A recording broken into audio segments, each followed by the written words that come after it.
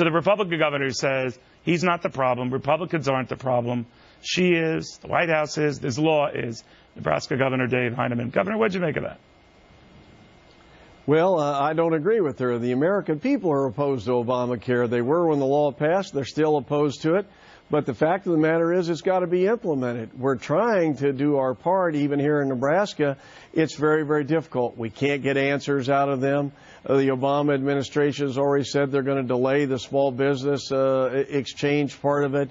The actuaries are saying uh, health insurance premiums are going to go up uh, dramatically in spite of the fact that President Obama said they'd go down. So there's problem after problem with this uh, new federal health care law. You know, the issue isn't so much Republicans and whether they liked it or not. Most of you guys obviously didn't like it. But um, the premium rise that we've seen, the cutback in care that we've seen in a lot of places, uh, the device uh, tax thing that has gotten to be a real uh, problem for a lot of folks. That is something that was not a Republican invention. That was that was something that Republicans rejected. But it seems to me the early betting is that if there are problems with this, as the problems materialize, they're going to blame it on you. They're going to blame it on Republicans. What do you think of that? Well, I don't think that's a very good idea. I don't think it's a fair idea. This is a huge undertaking. I can tell you already as we try to work with the Obama administration, they don't have the technology in place to implement this next January 1st.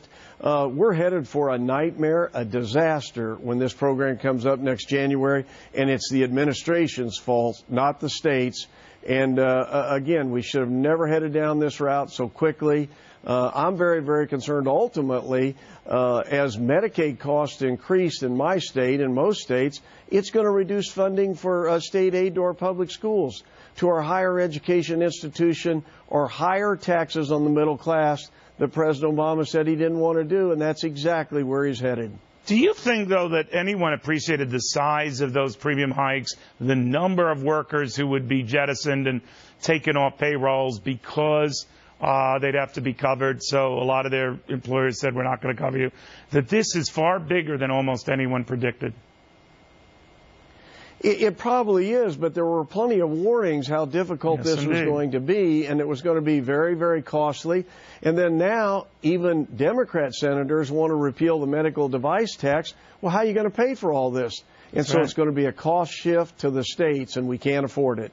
Governor, good seeing you again. Thank you. Thank you, Neil.